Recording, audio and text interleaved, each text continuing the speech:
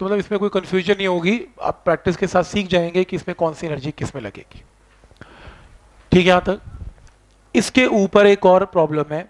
ऐसी प्रॉब्लम बहुत आती हैं, जिसमें लेटर सपोज़ अगेन ये एक अर्थ अर्थ का मास है एम और रेडियस है कैपिटल आर हम ऐसा बहुत किया करते थे कि एक रॉकेट को ऊपर फेंक दिया बॉल को ऊपर फेंक दिया, जैसे सेम क्वेश्चन है।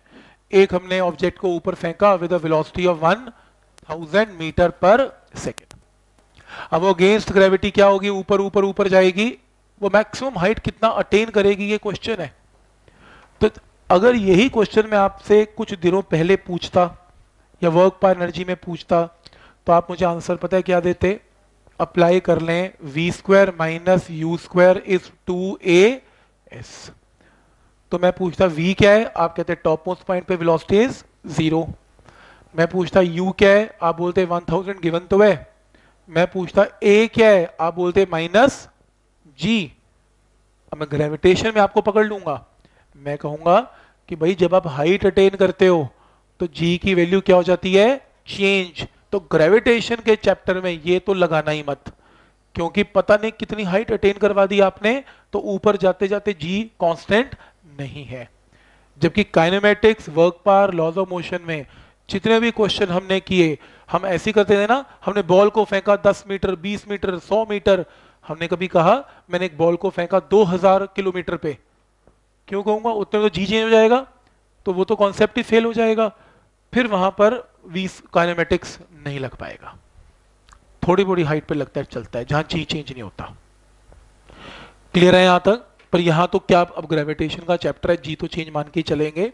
तो आप बिल्कुल काइनेमेटिक्स ना लगाएँ।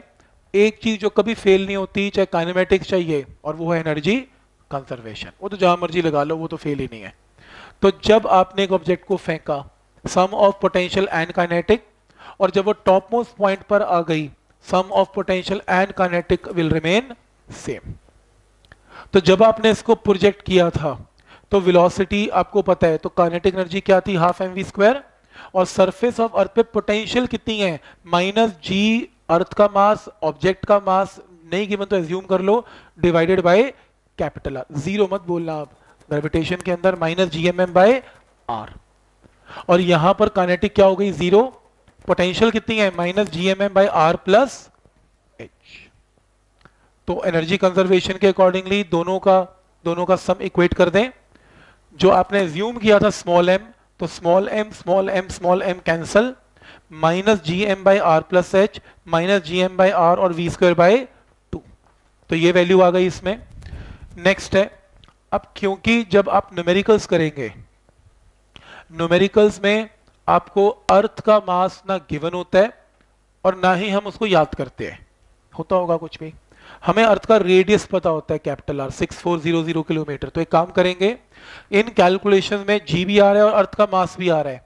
तो मैंने आपको एक फॉर्मूला करवाया था, याद करने को कहा था स्मॉल जी क्या होता है? G capital M by R square तो कैपिटल जी एम जहाँ जहाँ दिखे रिप्लेस कर दो। Small G into R square ये देखो कैपिटल जी एम की जगह small G into R square small G into R square R से आर क्या हो गया?